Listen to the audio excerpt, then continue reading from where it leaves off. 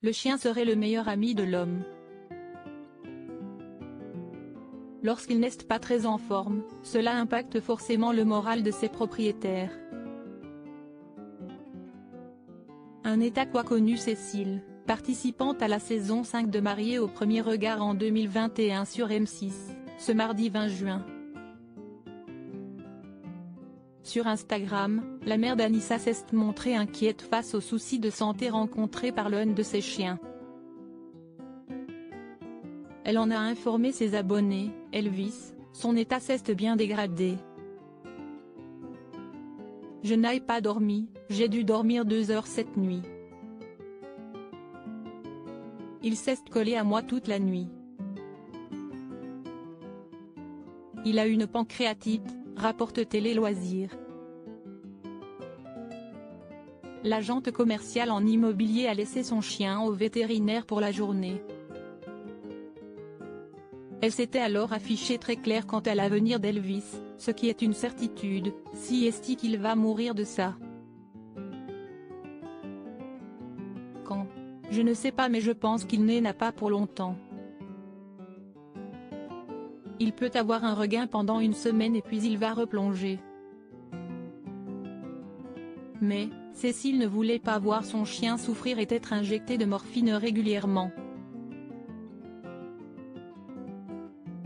Par respect pour Elvis, parce qu'il le mérite, je ne veux pas m'acharner, avait ajouté sur Instagram la maman d'une jeune fille prénommée Anissa.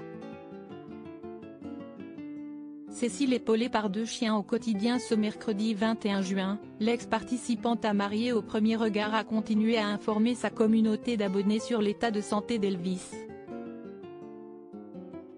Les dernières nouvelles sont bonnes puisqu'elle était en route pour aller le chercher et le ramener à leur domicile. Elvis a ressuscité une deuxième fois, s'est-elle réjouie, précisant qu'il va mieux. Cécile a donc exprimé sa fierté de voir son fils d'amour s'être battu pour rester en vie, si est une force de la nature du haut de ses 5 kg. Plus d'un chien se serait laissé mourir au vu de la douleur, a-t-elle également ajouté. En participant au programme de M6, Cécile n'a pas trouvé l'amour, son couple avec Alain n'a pas perduré au-delà du mariage diffusé à la télévision. Mais, cette Marseillaise d'une quarantaine d'années reste très entourée par l'amour de ses proches, et notamment de ses deux chiens, Elvis et Ina, qu'elle mettrait régulièrement en avant sur son compte Instagram lors de moments de partage, ponctués d'une belle complicité entre chacun. À lire crédit photo, capture d'écran Instagram.